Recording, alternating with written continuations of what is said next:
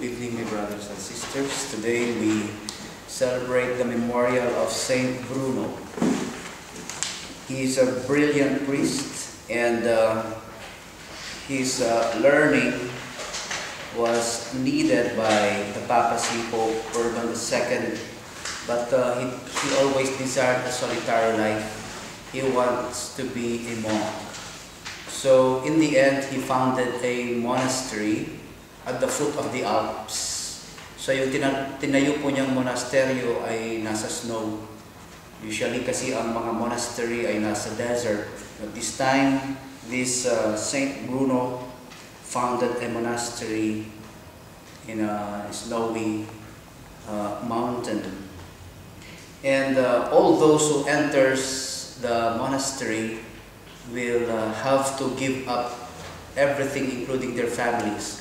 Once they enter the monastery, they will never see their families again and they are forbidden to be visited by their families. So this is a complete renouncement of worldly things and even relationships in favor of seeking a higher glory and also living a holy life. So sa monasteryo nila, they don't even speak to one another. And um, they just, uh, they just um, spend their time in prayer and penance. And they're praying for the conversion of the world. Kapag po sila magsasalubong sa monasteryo, ang greeting po nila sa bawat isa ay, someday you will die. Yun ang reminder nila sa bawat isa. Kapag nagsasalubong sila, they bow to one another and they say to one another, mamamatay ka rin. So it is a reminder for us and to them that soon your life will be over here in this world. Whether it is a long life or a short life, mamamatay ka rin. So it, the, the monks remind themselves of this, that this uh, life in this world is temporary and they are seeking for a higher glory and the life that is to come which is forever, which is eternal. Minsan lang po sila nag-greet ng uh, pag Easter Sunday naman, iba naman ang kanilang greeting. Ito ang greeting nila. Uh, uh, mabubuhay ka rin. It is, we are, they are reminding themselves that yung on Easter, even if you die, there, there is a second life waiting for you. So ito yung buhay nila sa loob ng monastery. Very strict rules sila. And uh, ang tawag sa kanila ay Carthusians, the Carthusians. And uh, um, because of uh, the place which is Chartreuse, Chartreuse.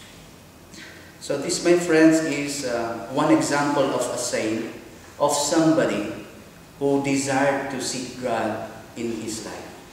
And in the end, he attracted followers who want also to be like him, to follow the Lord through his way. So, ang, ang simbahan natin, they are raising examples of faith, examples of holiness. Because when we seek God, it is the same as seeking holiness. Because holiness is an attribute of God. And only God is holy. So, ang, pag, ang walk of faith po natin dito sa mundo, in the end, is a life, should be a walk to holiness. It should not uh, be otherwise. Wala pong ibang purpose yun, kundi seeking a life of holiness. And uh, in the life of holiness, it is where God can, can work His miracles. Because it takes faith to, to follow the Lord in seeking this life. At yung endpoint po ng faith is grace. Ang regalo po kasi ng ating uh, faith ay grasya. Eh. Grace which uh, comes from God alone. It is only God who can give us grace. No, um, no amount of our effort can, can we um, uh, be worthy of the grace that God gives us. Because all are sinners and nobody can perfect the law.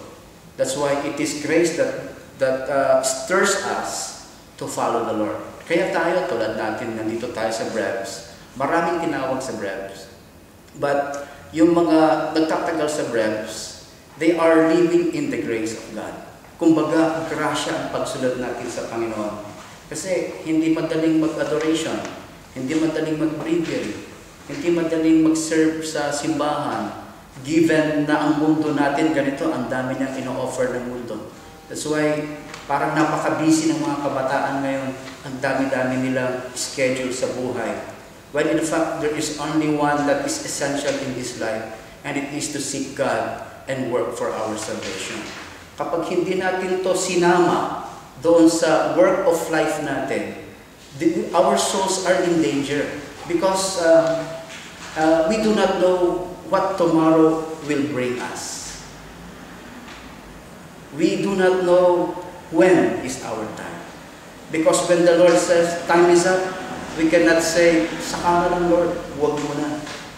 That's why every day, each day is a moment of grace. It's, it's a moment of walking with God. It's a moment of uh, living a holy life. Because every day is an opportunity for us to be more like Christ. Kaya ang isang grasya na uh, kinakampanya natin dito sa Breves, yung adoration we include in our prayer life yung adoration of the Blessed Sacrament. Hindi lang tayo papasok sa adoration because we are praying the breviary. It's more than that. It is um, spending time with somebody who loves you. If you love somebody, you want to be with this somebody all the time. Di ba? Naghahanap ka ng opportunity to be with this somebody all the time. Kung may makikita kang opportunity to be with this somebody, you will grab that opportunity. In the same way that we are following the Lord, we are building an interior life. Ang tinatawag na interior life, sabi ni St. Teresa of Avila, yung interior castle. Nasa puso natin yun. And tayo kasi, exterior, may exterior tayo, exterior life, uh, the life that we live that people see. There is a life, there is another life that we are living, and this is the interior life, the life where we can meet God sa kalooban natin, sa loob natin, sa soul natin. Ang tawag doon, interior life. We develop this interior life where we meet God personally. Kasi ang mundo, napakaingay, and it is noisy, and very disturbing. And the only way we can uh, hindi tayo malunod sa ingay ng mundo at takbo ng mundo is the interior life. It is the interior that will raise us up. Parang ano yan eh, parang salbabida, yung interior life natin. It will lift us up from the trappings of this world. Kasi ang daming trappings sa world eh. Kung iisipin mo yung buhay ngayon, maguguluhan ka eh.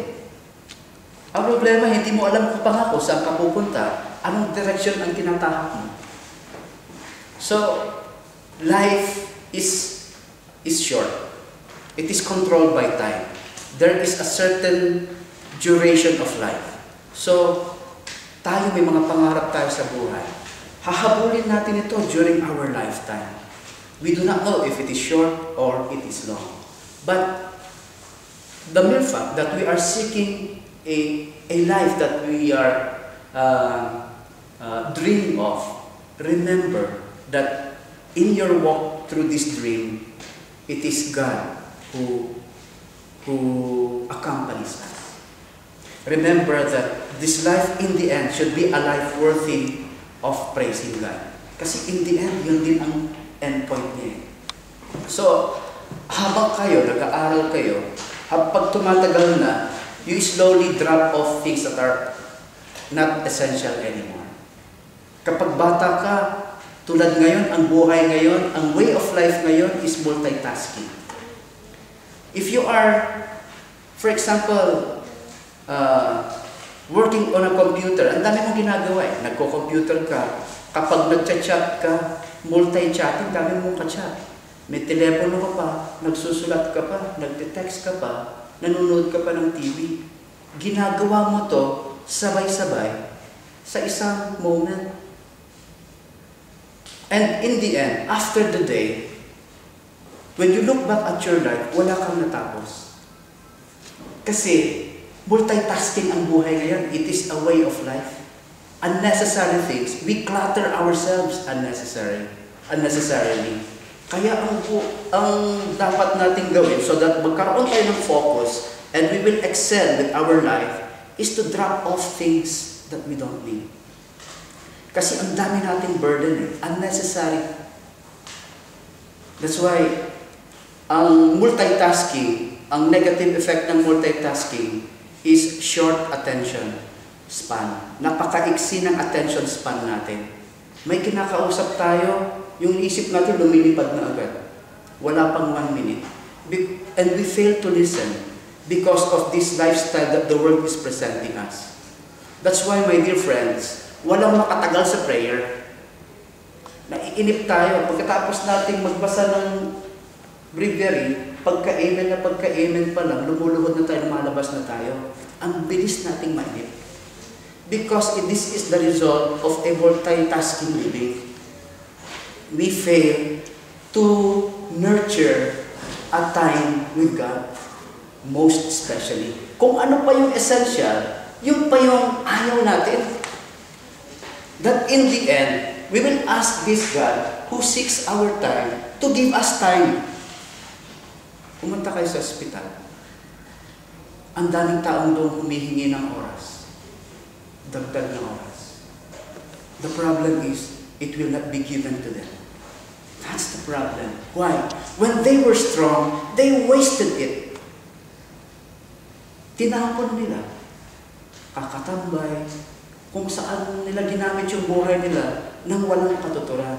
God is giving us 24 hours a day. Remember that. 24 hours a day. Sabi ni Lord sa Gethsemane nung nandun siya sa agony in the garden. Sabi niya pa sa mga apostles, Why are you sleeping? Could you not watch with me one hour? Yung pag sinabi ni Lord, watch with me one hour.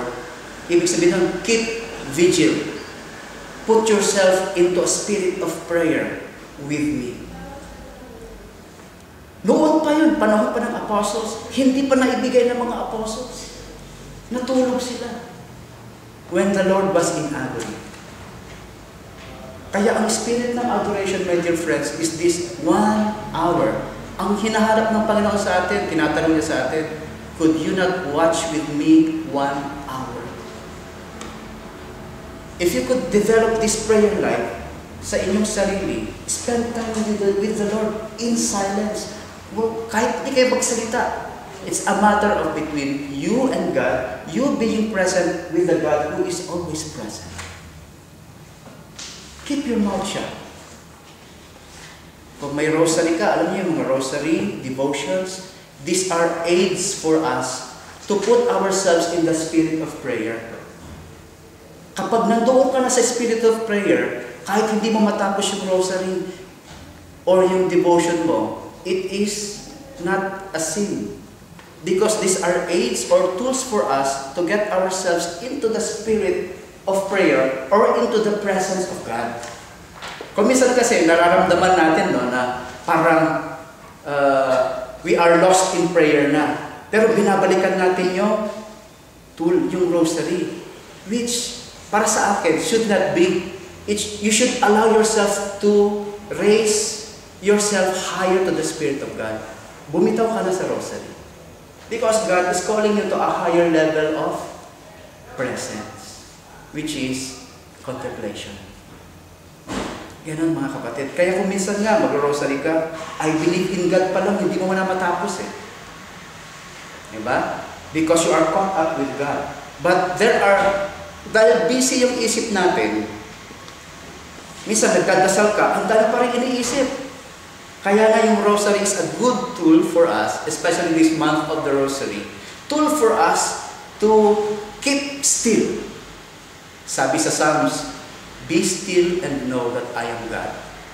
The only way we can know that God is present is to keep still. Tumahimik ka. Diba?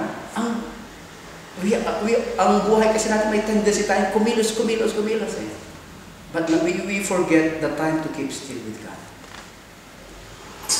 So, my dear friends, um, the interior life we want to develop among you young people. Because this world is so noisy and so busy. And find time to sit here at least one hour every week. Kung may time ka, every day. Just to settle your mind and to strengthen your relationship with God so that God can speak to you. One hour lang ang hinihingi ng Panginoon. Yung saint natin ngayon, hindi one hour ang ibinigay niya. One whole life ang binigay niya. Buhay ang binigay niya, hindi lang isang oras. These are exceptionals. So, in the end, my dear friends, that you don't know what to do with your life, you don't know where to go, you don't know what to do with your life, pumasok ka sa adoration. Pumunta ka sa Pink Sisters, pumunta ka sa Sacred Heart Community, pumunta ka dito sa cathedral, saan tayo may, may adoration. Pumunta ka sa Aurora Hill, find time with God. Keep still. And God will speak to you. Because our life has been, tayo nang nagsasalita. Hindi natin pinapakinggan si Lord. Pakinggan natin si Lord. That's the spirit of the interior life. Let God speak to us and let God inspire us to do His works according to His ways. Because sometimes, kahit na lubog tayo sa paggawa sa trabaho ng Panginoon, kakalapitin ka ng Panginoon, kapatid, gawin mo naman yung pinagagawa ko sa iyo. Because we might be caught up with serving the Lord and we forget that we are already serving ourselves, not God. So that, my dear friends, prayer life is like a a salbabida. Ano ba sa English ang salbabida? Para ka lumutang sa kaguluhan ng mundo so that you can see a perspective. Kaya nga sa, sa bundok, kapag ikaw ay aakyat sa bundok, di ba? It may be lonely at the top, sabi nga. But the view is so beautiful. And before we climb a mountain, you do not know where you are in the mountain. Kaya bago ka umakyat sa bundok, na pupunta ka sa malayo, tatantyahin mo yung aakyatin mong bundok. This means, my dear friends, before we go to a challenging task or facing this challenging life, mag-retreat ka, tumahimik ka muna at tansyahin mo yung bundok na aakyatin mo. This is the life of faith that we are uh, encountering. Pasalamat tayo. Many are called but few are chosen. So friends, we are giving you activities of chances or chances to meet God. So it is not just activities per se or activities for the sake of activity. No. It is an activity where we can meet God. Kaya ang lakad natin sa Panginoon does not depend on what the breaths can give you, but your immediate response when you meet God. Kung nasa.